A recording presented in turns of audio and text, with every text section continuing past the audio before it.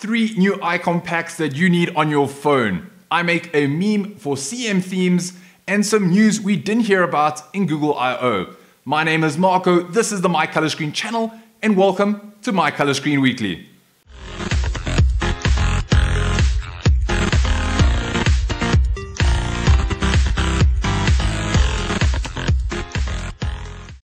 First up, we have some tasty new icon packs. Will Windham, aka Stealthy Chief, the designer of the ever so popular Axis icon pack, is back with his brand new icon packs titled Aloha. Appropriately named due to its Hawaiian-like colors that I must say look incredible, the pack also features a circular design with the icon images placed on top with a tiny gap, giving off a slight shadow which just helps these icons pop and creates this awesome 3D effect. Retailing at $1.99, it's a great deal considering that you're getting over 1,650 icons that will be updated weekly, as well as 10 HD wallpapers with cloud-based wallpaper chooser that of course come with Muzei support.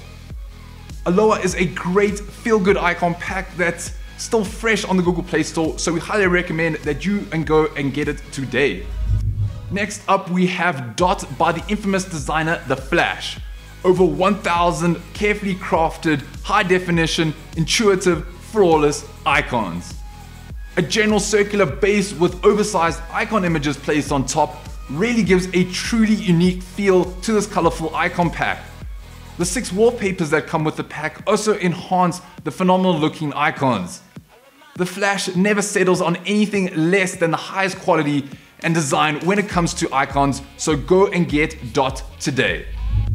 Finally, an immensely impressive icon pack titled Tendere by the popular Ryan M. Kelly has just received its biggest update yet. Now the pack comes with over 950 icons that are now of a much higher resolution. The icon base has now also been modified and a few colors have been tweaked. And of course the dashboard is new and it looks incredible. So go and get this icon pack today if you want to make your phone stand out from the crowd. Oh, and also don't forget that it's currently on sale, which is pretty cool. Next up, CM themes. CM themes everywhere. No, I'm not even joking. There's a lot out right now, but hey, they make your phone look incredible, so I'm not complaining. First up, we have Flattington by yackovsky.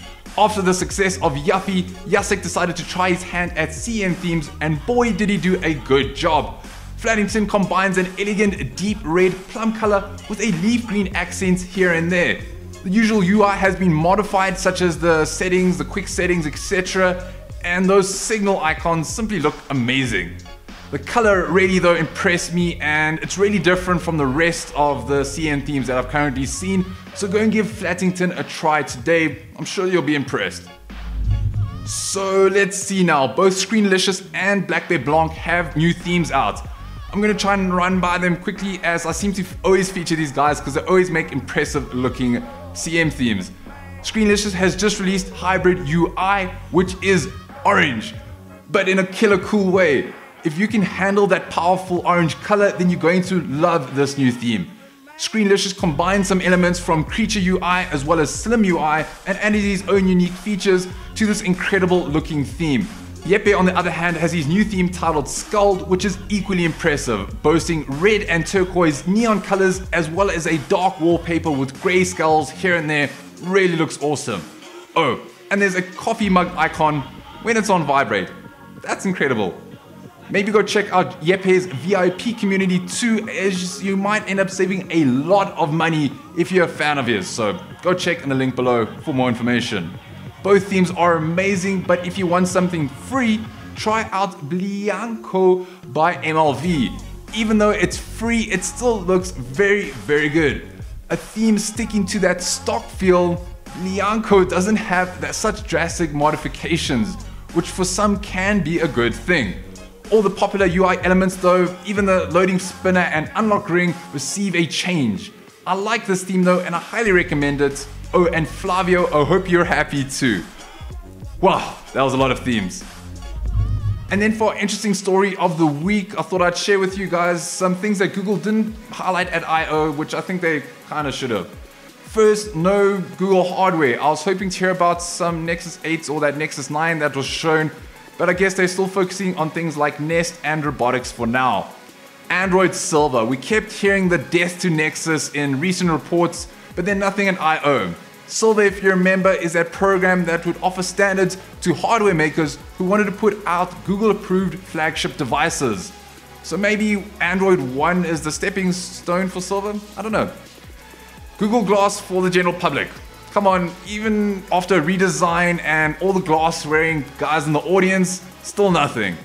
I still hope in dream for glass getting below $1,500, but we'll have to wait and see. And then finally, Android L. Google, please stop playing games with our hearts here. Why all the secrecy? I'm gonna be putting my money on calling it Lollipop, but that still sounds a bit weird. So, I don't know, guys. What do you think? And yes, I'm on Android L right now, but I want to ask you guys, what's been your experiences so far with Android L? Let us know in the comments section below. I'd really like to hear what you guys think. And that concludes this video, guys. If you enjoyed it, please give us a thumbs up as well as please subscribe to the My Color Screen channel if you haven't already. Also, don't forget to check out our various social communities. And it's Marco here from the My Color Screen channel. And as always, don't stop customizing.